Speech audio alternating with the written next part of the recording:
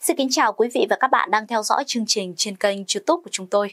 Ban biên tập chương trình xin được gửi đến quý vị thông tin nóng nhất, mới nhất mà chúng tôi vừa mới cập nhật. Sau đây sẽ là nội dung chi tiết. Vừa qua, Sở Văn hóa Thể thao và Du lịch cho biết đã có báo cáo gửi Ủy ban nhân dân tỉnh Bình Thuận về việc ông Huỳnh Phú Tân, 42 tuổi, chú tỉnh Bạc Liêu, xin khai thác kho báu 3 tấn vàng dưới lòng sông Cà Ti. Theo Sở Văn hóa Thể thao và Du lịch tỉnh Bình Thuận, ông Tân có đơn xin phép khai thác vật quý. Đơn vị đã phúc đáp và hướng dẫn ông thực hiện các nội dung theo quy định. Để được xem xét việc xin khai thác 3 tấn vàng do quân đội Nhật trôn giấu dưới sông Cà Ti. Tuy nhiên, ông Tân không thực hiện theo đúng các nội dung hướng dẫn. Cụ thể, ông Tân không có phương án thăm dò và phương án khai thác vật quý, chỉ nêu ra một số ý về thời gian, cách thức thực hiện và xử lý tài sản sau thăm dò. Đồng thời, ông này không cung cấp được bất kỳ tài liệu, hình ảnh, thông tin nào liên quan để chứng minh được có diễn ra sự việc và nguồn gốc với nơi trôn giấu kho báu. Qua hai lần tới gặp và làm việc trực tiếp tại sở, ông Tân cũng không cung cấp được thông tin nào cụ thể, rõ ràng liên quan tới kho báu. Sở Văn hóa Thể thao và Du lịch tỉnh Bình Thuận cũng cho biết, ông Tân nói rằng chỉ nghe một người quen hiện đang sống ở Tánh Linh, khoảng 80 tuổi kể lại. Người này đặt vấn đề để ông Tân đứng ra xin khai thác, chứ không phải cụ tổ phát hiện như ghi trong đơn. Tuy nhiên, ông Tân không chịu cung cấp thông tin cụ thể của người quen này. Từ thực tế trên, Sở Văn hóa, Thể thao và Du lịch tỉnh Bình Thuận khẳng định không có cơ sở để xem xét, giải quyết việc xin khai thác 3 tấn vàng dưới sông Cà Ti theo như đơn đề nghị của ông Tân. Ngoài ra, Sở cho rằng vật quý mà ông Tân ghi trong đơn xin khai thác là vàng, không phải là di sản văn hóa nên không thuộc chức năng quản lý nhà nước của đơn vị. Đơn vị đã viện dẫn các quy định pháp luật hiện hành và cho rằng những nội dung xin khai thác 3 tấn vàng như trong đơn của ông Tân thì phải do Sở Giao thông Vận tải và Sở Tài chính chủ trì. Ngày 11 tháng 4, Viện Kiểm sát Nhân dân tỉnh Gia Lai ban hành cáo trạng truy tố tài xế Đinh Tiến Bình, 37 tuổi, chú thị trấn Nhân Hòa, huyện Chư Pư, tỉnh Gia Lai về tội vi phạm quy định về tham gia giao thông đường bộ. Đinh Tiến Bình là tài xế điều khiển xe tải biển kiểm soát 81H027 gây tai nạn khiến ba người của câu lạc bộ bóng đá Hoàng Anh Gia Lai tử vong một người bị thương nặng. Kết quả điều tra xác định, chiều ngày 12 tháng 8 năm 2023, ông Đinh Tiến Bình lái xe tải chở đá lưu thông trên quốc lộ 14 hướng từ Đắk Lắk đi Gia Lai. Khi qua thôn Tàu Cho, xã Ia Hờ Rú, huyện Chư Pư, xe tải này vượt bên trái xe 5 chỗ của câu lạc bộ Hoàng Anh Gia Lai do ông Nguyễn Tú Sinh, 57 tuổi, chú thành phố Pleiku, tỉnh Gia Lai điều khiển, đang lưu thông cùng chiều phía trước. Đúng lúc này, tài xế Bình phát hiện phía trước làn đường ngược chiều có xe tải biển kiểm soát 47C263 do tài xế Nguyễn Tấn Sôn điều khiển đang đi theo hướng ngược lại nên đánh lái về phần đường bên phải và tông vào đuôi xe 5 chỗ câu lạc bộ Hoàng Anh Gia Lai. Sau khi bị tông, xe của câu lạc bộ Hoàng Anh Gia Lai mất kiểm soát, quay ngang và bị xe tải biển kiểm soát 81H027 tiếp tục tông vào, đẩy xe đi tiếp sang làn đường bên trái và tông vào xe tải biển kiểm soát 47C263. Vụ tai nạn khiến xe 5 chỗ của câu lạc bộ Hoàng Anh Gia Lai bị vò nát, kẹp giữa hai xe tải.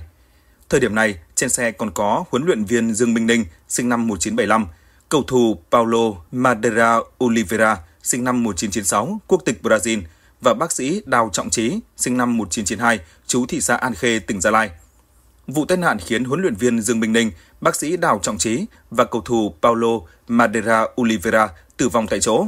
Riêng tài xế Nguyễn Tú Sinh bị thương tích nặng với kết quả giám định 44% thương tích. Kết quả điều tra xác định Nguyên nhân xảy ra vụ tai nạn giao thông là tài xế Đinh Tiến Bình điều khiển xe tải biển kiểm soát 81H027 vượt xe khi chưa đảm bảo các điều kiện an toàn, không giữ khoảng cách an toàn với ô tô phía trước, thiếu chú ý quan sát, xử lý kém. Kết quả kiểm tra nồng độ cồn, ma túy của ba tài xế đều âm tính. Kết quả xác minh tốc độ của xe ô tô biển kiểm soát 81H027 tại thời điểm gây tai nạn là 55 km/h. Từ bản cáo trạng của vụ việc, hành vi của bị can Đinh Tiến Bình là nguy hiểm cho xã hội – xâm phạm đến tính mạng của nhiều người khác được pháp luật bảo vệ, phạm vào tội vi phạm quy định về tham gia giao thông đường bộ với tình tiết định khung hình phạt làm chết 3 người trở lên, quy định tại điểm A khoản 3 điều 260 Bộ luật hình sự với khung hình phạt bị truy tố từ 7 đến 15 năm tù. Ngày 12 tháng 4, sau 2 tháng điều tra, cơ quan cảnh sát điều tra công an thành phố Hồ Chí Minh hoàn tất kết luận điều tra, chuyển hồ sơ sang Viện Kiểm sát Nhân dân cung cấp, đề nghị truy tố bị can Nguyễn Đăng Khoa, 25 tuổi, quê ở Tiền Giang, tạm trú thành phố Thủ Đức, về các tội cướp tài sản, giết người, hiếp dâm. Nguyễn Đăng Khoa là kẻ ra tay sát hại chị VTT, sinh năm 1999, quê Đồng Nai, vào ngày 8 tháng 2, tức ngày 29 Tết, ở thành phố Thủ Đức. Theo kết luận điều tra, Nguyễn Đăng Khoa và chị VTT ở cùng khu nhà trọ trên đường Quang Trung, khu phố 5, phường Tăng Nhân Phú B, thành phố Thủ Đức. Phòng của Khoa ở dãy đối diện với phòng của chị T. Nguyễn Đăng Khoa học hết lớp 10 thì nghỉ, đi làm công việc bán thời gian, không ổn định, ham chơi game. Sắp đến Tết nhưng không có tiền tiêu xài, ngày 8 tháng 2, tức ngày 29 Tết Giáp Thìn, thấy chị T ở một mình trong phòng, chuẩn bị đồ về quê. Lúc này những người khác ở trong khu trọ đã về quê. Nên Nguyễn Đăng Khoa lấy lý do nhờ chị T qua phụ dịch chuyển tủ quần áo. Khi chị T vừa qua phòng, thì Khoa đóng cửa lại, dùng vật nhọn đe dọa, uy hiếp, khống chế và ra tay làm hại nạn nhân. Sau đó, Khoa lấy tài sản của nạn nhân gồm một lắc vàng, ba nhẫn vàng, một điện thoại di động iPhone 12 Pro, một sợi dây chuyền vàng, một đôi bông tai vàng và 3 triệu đồng. Ngoài ra, hắn còn xâm hại nạn nhân. Sau đó, Nguyễn Đăng Khoa phân chị Tê ra rồi cho vào túi ni lông cột kín, rồi đem phi tang xuống mép kênh ven đường ở khu công nghệ cao thuộc phường Tăng Nhân Phú A, thành phố Thủ Đức. Tiếp đến, Khoa đi bán một số tài sản đã cướp được của nạn nhân. Những tài sản còn lại chưa bán, Khoa mang về nhà bạn gái tại xã Cát Khánh, huyện Phù Cát, tỉnh Bình Định chơi Tết. Ngày 13 tháng 2 năm 2024, đối tượng này đã bị lực lượng chức năng bắt giữ. Tại cơ quan công an, Nguyễn Đăng Khoa đã thừa nhận toàn bộ hành vi phạm tội của mình.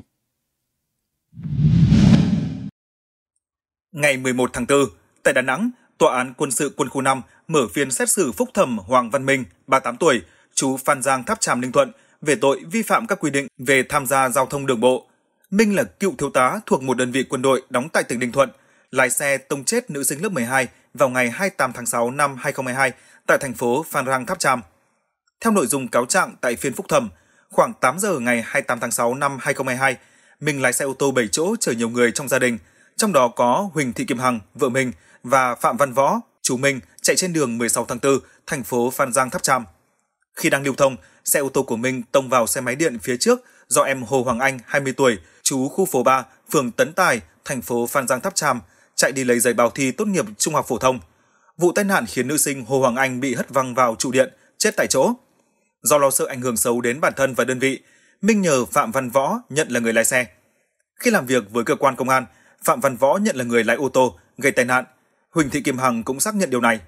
Tuy nhiên, quá trình điều tra vụ án, cơ quan chức năng xác định vợ chồng Hằng khai báo gian dối. Tiếp tục xác minh, điều tra, cơ quan chức năng xác định trong khi lái xe ô tô, Minh sử dụng điện thoại, thiếu tập trung quan sát, không bảo đảm an toàn để xảy ra va chạm với xe máy điện của nữ sinh Anh khiến nạn nhân tử vong. Ngày 29 tháng 6 năm 2022, Minh đến công an thành phố Phan Giang Tháp Tràm khai nhận toàn bộ hành vi của mình. Tại phiên xét xử sơ thẩm ngày 5 tháng 12 năm 2023 tại thành phố Nha Trang Khánh Hòa, Hội đồng xét xử Tòa án quân sự khu vực 2 quân khu 5 tuyên phạt Minh mức án 14 tháng tù, buộc bồi thường cho gia đình bị hại 254 triệu đồng. Sau khi bản án được tuyên, Minh có đơn kháng cáo, trong đó có nội dung xin giảm án và xin hưởng án treo. Đại diện của bị hại cũng có đơn kháng cáo, cho rằng bản án sơ thẩm đánh giá không đúng tính chất, mức độ, hậu quả, hành vi phạm tội của bị cáo chưa mang tính răn đe và mức bồi thường thiệt hại dân sự không phù hợp. Tại phiên tòa phúc thẩm, bị cáo có đơn trình bày xin được thỏa thuận dân sự.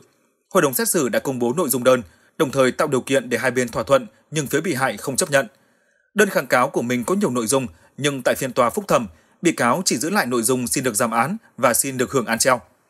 Đại diện gia đình bị hại vẫn giữ nguyên nội dung kháng cáo, đề nghị tăng hình phạt đối với mình và tăng số tiền bồi thường.